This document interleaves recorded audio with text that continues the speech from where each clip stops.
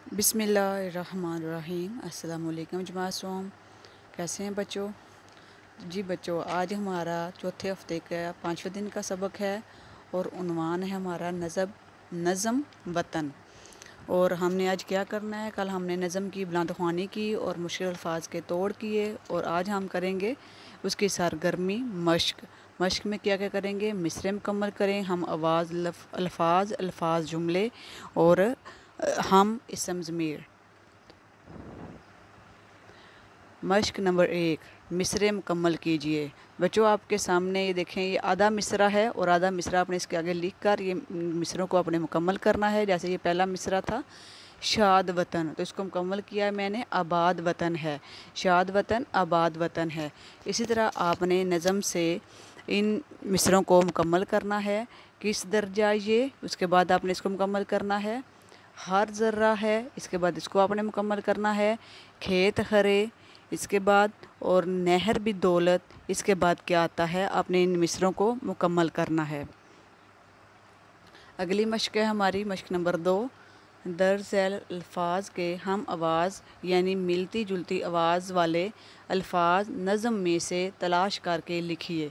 जी बच्चों तो आपने नज़म में से ही जो मैंने उसकी बुलंद खानी करवाई थी, उसमें से आपने इन अल्फाज के हम आवाज़ अल्फाज, यानी मिलती जुलती आवाज़ वाले अल्फाज ढूँढने हैं और वो लिखने हैं।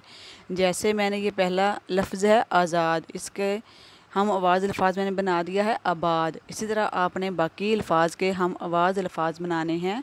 वो अल्फाज कौन कौन से हैं? हसीन, नज़ारा धान रेत, महबूब। उसके बाद हमारी मश्क नंबर तीन है। मश्क नंबर तीन में आपने क्या करना है? दर ज़ैर अल्फाज को जुमलों में इस्तेमाल कीजिए। जी बच्चों, आपने इन अल्फाज को जुमलों में इस्तेमाल करना है।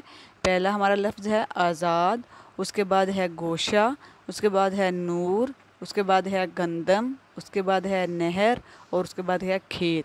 तो आपने इन अल्फाज को अपने आसान जुमलों में इस्तेमाल करना है। उसके बाद है कवायद कवायद में हमने आज क्या सीखना है और क्या पढ़ेंगे? कवायद में हम हैं, आज पढ़ेंगे इसम ज़मीर, यानी हम। हम आप, हम का इस्तेमाल करते हैं ना, हम होता है। हम का क्या मतलब है? इसका, इसको क्या कहते हैं? इसमें ज़मीर। तो आइए इसके बारे में हम जानते हैं क्या है ये। हम उर्दू ज़बान में बतौर ज़मीर जमा इस्तेमाल होता है। क्या होता है? जमा। इस्तेमाल होता है। जब वाहिद, मैं, जब अब एक के साथ, एक हो तो मैं होता है, लेकिन एक से ज़्यादा हूँ तो हम हो जाते हैं। मैं के साथ शरीक होने वालों की तादाद ज़्यादा हो तो हम का इस्तेमाल किया जाता है। हम उर्दू ज़बान में बतौर ज़मीर जमा इस्तेमाल होता है। जब वाहिद, में, मैं के साथ शरीक होने वालों की तादाद ज़्यादा हो तो हम का इस्तेमाल किया जाता है। जैसे बच्चों, आप लोग क्लास में काम कर रहे होते हैं सारे बच्चे, अगर आप तीन दोस्त काम कर रहे हैं तो क्या कहेंगे कि मैं काम कर रहा हूँ या हम काम कर रहे हैं? आप तीनों काम कर रहे हैं तो आप कहेंगे हम काम कर रहे हैं। इस तरह एक के लिए मैं, लेकिन ज़्यादा हूँ तो हम। उस जैसे मिसाल है नीचे। जैसे मैं से हम, मेरा से हमारा। नीचे दी गई मिसालों पर गौर कीजिए। मैं, सबा, हीना और नीलम बाहर खेलने जा रहे हैं। अब यहाँ तीन बच्चों का ज़िक्र हो रहा है तो यहाँ आपने क्या कहना है कि हम बाहर खेलने जा रहे हैं। अब बाकी जो हैं, आपने इसी तरह करने हैं। मेरा काम ख़त्म हो गया है। हम बाहर, हमारा काम ख़त्म हो गया है। मश्क नंबर चार दर्ज झैल जुमलों को हम या हमारा लगाकर दोबारा लिखिए। तो बच्चों, आपने इन जुमलों में हम और हमारा का इस्तेमाल करना है और इनको जमा में, यानी इसमें ज़मीर जमा में तब्दील करना है। सबसे पहला है, मैं और वो दोनों खेलने जा रहे हैं। मैं और वो दोनों खेलने जा रहे हैं। वो खाना खा रहा है। मैं साइकिल चला चला रहा हूँ। मेरे घर का रंग सफ़ेद है। मैं पाकिस्तान में रहता हूँ। मेरा स्कूल बहुत दूर है।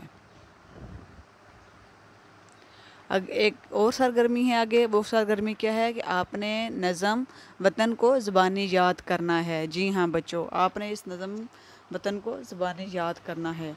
और जितनी भी आज मैंने आपको मश्क करवाई है और जो सरगर्मी है, ये आपने सारी करनी है, इनको लिखना भी है और याद भी करना है। अल्लाह हाफिज़।